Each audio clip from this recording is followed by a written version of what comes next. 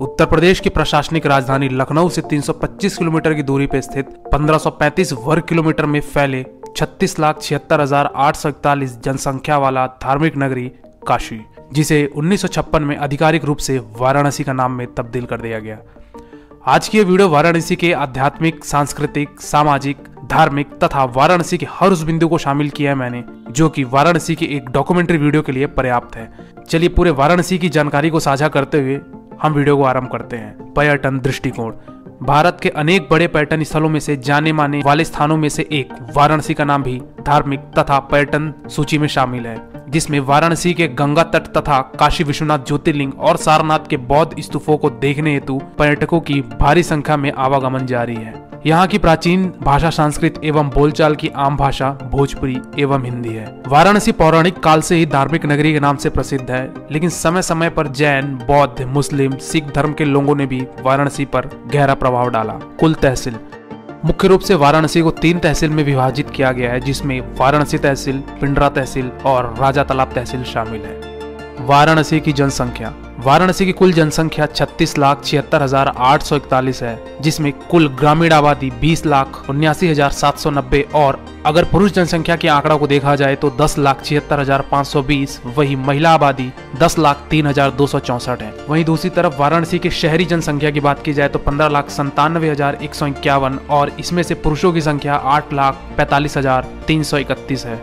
तथा महिला की जनसंख्या सात लाख इक्यावन हज़ार सात सौ बीस है। वाराणसी कुल क्षेत्रफल, वाराणसी की कुल क्षेत्रफल 1535 वर्ग किलोमीटर है, जिसमें से एक वर्ग किलोमीटर ग्रामीण तथा तेरह वर्ग किलोमीटर शहरी का क्षेत्रफल विभाजित है। गृहस्थी एवं मकान, वाराणसी ज़िले में कुल पाँच लाख साठ हज़ार एक सौ बासठ मकान हैं, जिसमें से तीन लाख छह हज़ार नौ सौ अठहत्तर ग्रामीण तथा दो लाख तिरपन हज़ार एक सौ चौरासी मकान शहर में निर्मित हैं। प्राचीन काल से ही वाराणसी के आध्यात्मिक, सांस्कृतिक तथा शिक्षा के नाम से वाराणसी हमेशा उच्च स्तर पर रहा है। तो वाराणसी में आवागमन के लिए प्रशासनिक स्तर पर तथा सरकार द्वारा यातायात की सुगम सुविधाएँ दी गई हैं, जिसमें से हवाई अड्डा, रेल मार्ग, सड़क मार्ग, सभी चीज़ें शामिल है। बात करते हैं हम हवाई अड्डे की। वाराणसी शहर से 26 किलोमीटर दूर पिंडरा तहसील के अंतर्गत वाबतपुर नामक क्षेत्र में उन्नीस सौ पचासी में स्थापित वाराणसी का एक मात्र हवाई अड्डा है, जिसे अक्टूबर 2005 में लाल बहादुर शास्त्री इंटरनेशनल एयरपोर्ट नाम रख दिया गया है। Air India, IndiGo, Spice Jet, Go First, Air Asia India, Vistara, Alliance Air,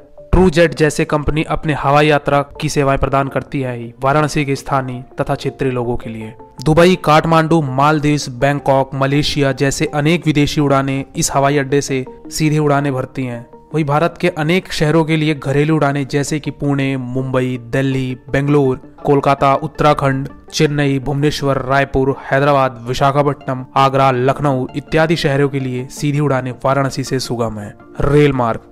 देश के northern railway zone headquarter Lucknow Charbagh के अंतर्गत उत्तर प्रदेश का चौथा एवं व्यस्त रेलवे स्टेशन में से एक वाराणसी जंक्शन है, जो कि नौ प्लेटफॉर्म के साथ कुल एक सौ बानवे गाड़ियों का परिचालन निरंतर रूप से जारी है। जौनपुर, प्रतापगढ़, प्रयागराज, मऊ, गाजीपुर मुगल सराय से आने वाले मार्ग के अनेक ट्रेनों इस वाराणसी जंक्शन को विशाल रूप देते हैं। वाराणसी से कुल तिरपन ट्रेनें अलग अलग स्थानों के लिए प्रस्थान करती हैं, जिसमें से मुंबई के लिए 28 ट्रेन, दिल्ली के लिए बयासी ट्रेन, कोलकाता के लिए 45 ट्रेन एवं चेन्नई के लिए आठ ट्रेनें का परिचालन होने से महानगरों से वाराणसी का आना सुगम है। अन्य ट्रेन, पाँच डेमो 128 एक्सप्रेस ट्रेन, एक गरीब रथ, छह हमसफर ट्रेन, दो जनशताब्दी पाँच मेबू नौ पैसेंजर, चार राजधानी एक्सप्रेस 48 सुपरफास्ट एक्सप्रेस और वाराणसी से न्यू दिल्ली तक जाने वाली वंदे भारत एक्सप्रेस ट्रेन 18 के परिचालन होने से वाराणसी के ट्रेन यातायात को सुगम बनाती है।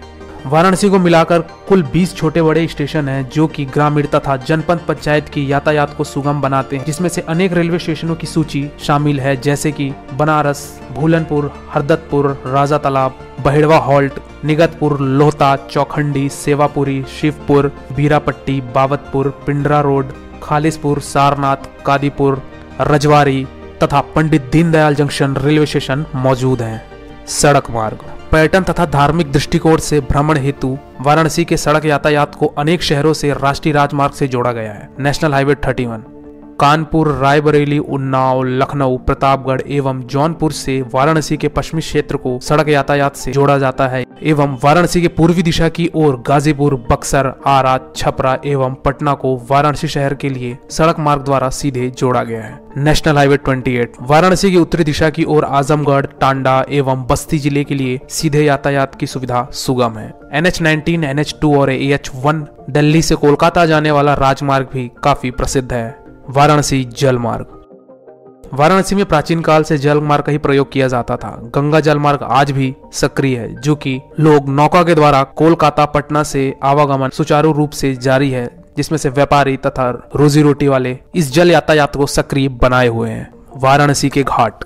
वाराणसी की प्रसिद्ध चिनारी, वहाँ के गंगा घाट तथा वहाँ की गंगा आरती और काशी विश्वनाथ ज्योतिर्लिंग से ही प्रसिद्ध है। लेकिन वाराणसी में कुल चौरासी घाट हैं, जो कि प्राचीन समय पे अलग अलग राजाओं के नाम पर घाट एवं अनेक मंदिरों का निर्माण किया गया था।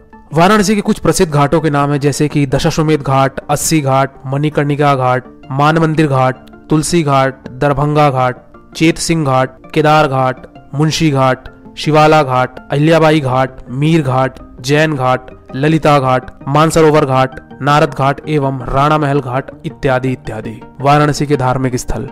गंगा नदी के दशाश्वमेध घाट के नज़दीक गोदोलिया नामक क्षेत्र में स्थित बारह ज्योतिर्लिंग में से एक काशी विश्वनाथ जी का मंदिर स्थापित है, जो कि 1780 में अहिल्याबाई होलकर द्वारा इस मंदिर की स्थापना करवाई गई थी। अठारह में राजा रणजीत सिंह द्वारा दान किए गए एक टन सोने से मंदिर के गुम्बदों को सोने की चादरों से अलंकृत किया गया। वाराणसी के इस महादेव के ज्योतिर्लिंग के दर्शन करने के लिए लाखों श्रद्धालुओं का यहाँ पे आवागमन जारी है। यही वाराणसी के और भी कुछ धार्मिक स्थल है जिसमें से तुलसी मानस मंदिर, यहाँ की दीवारों पर रामचरित मानस लिखा गया है। इस मंदिर के दूसरे माले पर संत तुलसीदास जी विराजमान है और इसी मंजिल पर राम और श्री कृष्ण की लीला भी होती है। वाराणसी के कुछ अनेक मंदिर और धार्मिक स्थलों की बात की जाए तो दुर्गा मंदिर, बाबा काल भैरव मंदिर, मृत्युजय महादेव मंदिर संकट मोचन मंदिर मारकंडे महादेव मंदिर, अन्नपूर्णा मंदिर, भारत माता मंदिर नया काशी विश्वनाथ मंदिर, जो कि बनारस हिंदू यूनिवर्सिटी में स्थित है, ये सभी स्थान और मंदिर दर्शनार्थियों के लिए आस्था का केंद्र है। बौद्ध एवं जैन धर्मों के तीर्थ स्थल सारनाथ में लोग दर्शन करने के लिए अवश्य जाते हैं। और इन्हीं के साथ चौखंडी स्तूप, रामनगर किला, धमेक स्तूप, मूलगंध कुटी विहार धर्मराज का स्तूप, अशोक स्तंभ, China temple Japanese temple Digambar Jain मंदिर, थाई मंदिर, गोल्डन टेंपल दीपलंका, बुद्ध विहार, सिंहपुरी जैन मंदिर, विशाल बुद्ध प्रतिमा इत्यादि स्थानों पर दर्शकों तथा श्रद्धालुओं का आवागमन सुचारू रूप से जारी रहता है। तो वाराणसी के धार्मिक तथा पर्यटन दृष्टिकोण से ये काफ़ी अनमोल स्थान है। शिक्षा वाराणसी प्राचीन काल से ही सांस्कृतिक, आध्यात्मिक तथा शिक्षा का केंद्र रहा है। बनारस हिंदू यूनिवर्सिटी एशिया का लार्जेस्ट यूनिवर्सिटी है, जिसमें कई होनहार विद्यार्थी देश तथा विदेश से यहाँ दाखिला लेकर अपनी अध्ययन पूर्ण करते हैं। इसी के साथ ही साथ वाराणसी में यूनिवर्सिटी ऑफ़ तिब्बतियन स्टडीज़ भी स्थित है। संपूर्णानंद संस्कृत यूनिवर्सिटी महात्मा गांधी काशी विद्यापीठ, ये सभी वाराणसी के अध्ययन केंद्र है, जहाँ देश एवं विदेशों से विद्यार्थी अध्ययन के लिए आते हैं। तो वाराणसी आज भी शिक्षा का एक मूल्य केंद्र है। तो आशा करता हूँ ये वाराणसी की डॉक्यूमेंट्री वीडियो आपको काफ़ी पसंद आई होगी। अगर इस वीडियो में कुछ और चीज़ें रह गई है तो मैं क्षमा प्रार्थी हूँ, लेकिन कोशिश करूँगा कि आने वाले अनेक शहरों की वीडियो इसी तरीके से आपको डॉक्यूमेंट्री के रूप में पेश करूँ। कमेंट सेक्शन में विचार ज़रूर व्यक्त कीजिएगा और अगर आपके मन में कोई संशय या फिर कोई प्रश्न है तो आप बिना सोचे उस प्रश्न को मुझ तक पहुंचाइए। मैं आपके प्रश्नों के जवाब हूबहू देने का प्रयत्न अवश्य करूँगा और कमेंट सेक्शन में ज़रूर ज़िक्र कीजिएगा कि अगली डॉक्यूमेंट्री वीडियो कौन से शहर की चाहिए आपको। और अगर वीडियो पसंद आया हो तो लाइक करें शेयर करें, जिससे मुझे आंतरिक प्रेरणा मिलती है कि मैं इसी तरीके की वीडियो आप लोगों के लिए निरंतर रूप से यात्रा व टर्मिनल चैनल पर लाता रहूँ।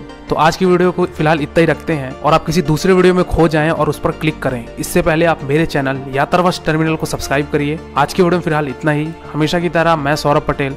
मिलते हैं एक नई डॉक्यूमेंट्री वीडियो के साथ। तब तक के लिए शुक्रिया। जय हिंद।